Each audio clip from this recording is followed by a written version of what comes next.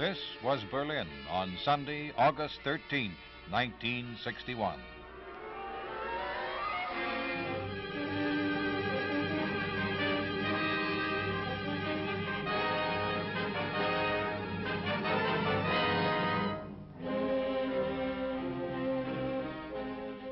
Since the end of World War II, four million people had fled communist East Germany.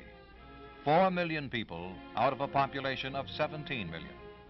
This in itself was an indictment of the communist regime, which had denied the people liberty and the right of self-determination.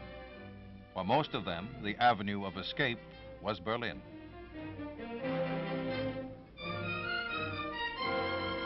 Statistics show that the number of refugees rose sharply every time the Russian-sponsored regime threatened and imposed restrictions on the people curtailed their freedom, and neglected their welfare. Because of solemn international agreements and the force of world opinion, these men, women, and children were able to seek asylum in West Berlin.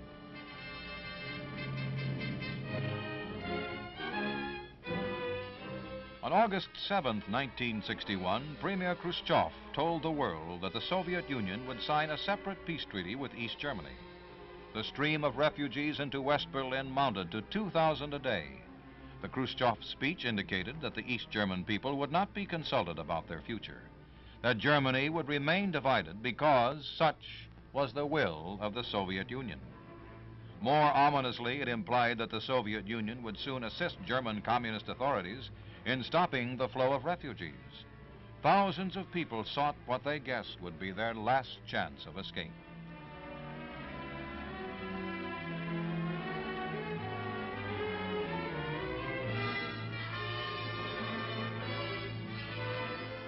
This is a map of divided Germany, west and east, free and communist. And there is Berlin. In West Berlin, in the days immediately following Khrushchev's speech, life seemed nearly normal, but the increased flow of refugees was becoming daily more embarrassing to Moscow and the East German regime. On the dividing line between West and East Berlin, this was the sight that greeted Berliners on the morning of Sunday, August 13th. East German police and military units were busy sealing the entire length of the city's dividing line with barricades and obstructions.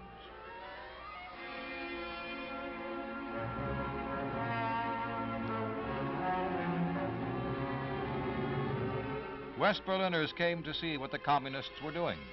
It was announced that the East German authorities had banned all travel from East to West Berlin. The refugees could no longer cross into the western sector. It was incredible how any regime could so publicly admit its failure to hold the allegiance of its citizens. The news spread like wildfire.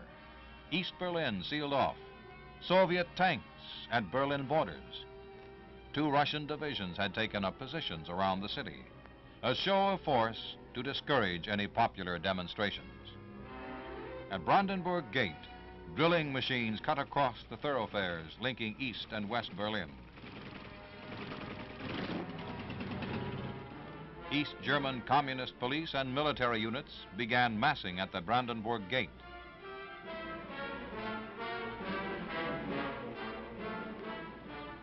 West Berliners, led by their mayor, Willy Brandt, came to look over this ruthless display of force. The communists announced they would bar over 53,000 East Berliners from access to their jobs in West Berlin. There was mounting indignation. The presence of German military units in any part of Berlin was specifically forbidden by post-war agreements. And as late as 1949, the Soviet Union had solemnly pledged that there would be no interference with the free travel of people between East and West Berlin. The city's dividing line was never recognized as an international frontier.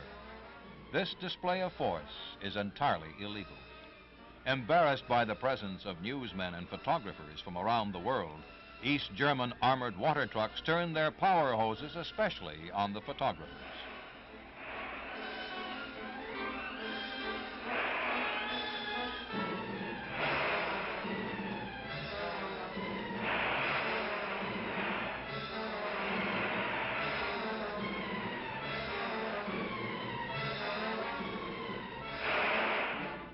The Soviets have now made clear their determination to prevent people from fleeing the communist paradise.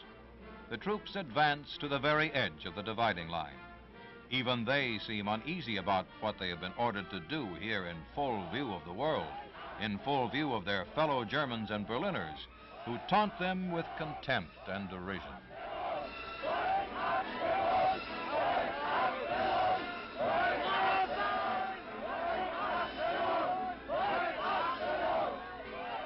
The East German soldiers grow increasingly nervous.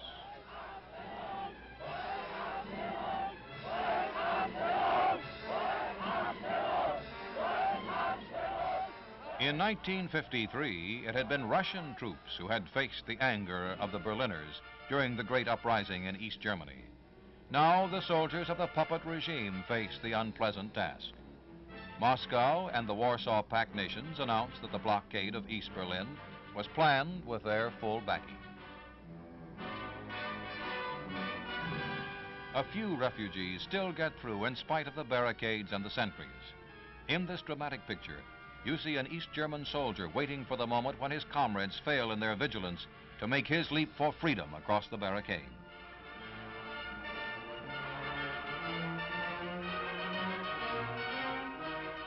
In West Berlin, trade union workers march to a rally to protest the communist blockade. Citizens gather from all parts of the free city for one of the biggest mass meetings ever seen in Berlin.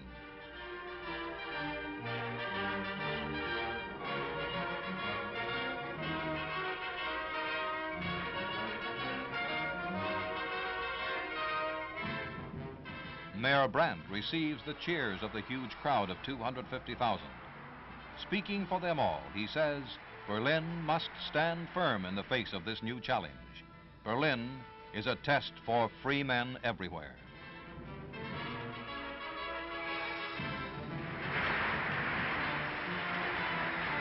At Potsdamer Platz, another landmark of divided Berlin, communist units build a concrete wall Visitors from Asia see how the East German authorities complete this unique construction project.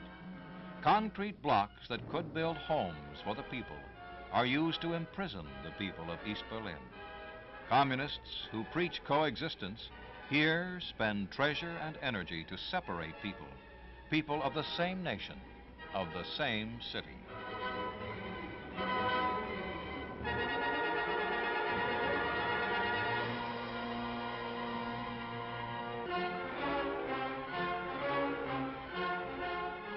In Berlin, communists who say they support self-determination for all nations deny it to the East German people. The fact is that there is nothing but contempt for people's right to self-expression.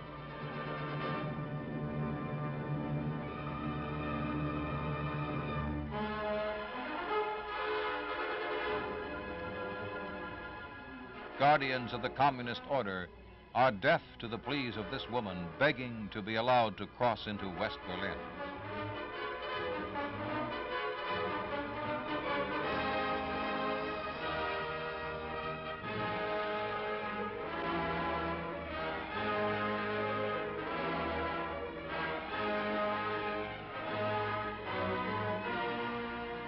The real tragedy of East Berlin is written in the faces of human beings who are denied the freedom to choose, to think, to speak, to cross from one part of a city to another, to claim their country as their own.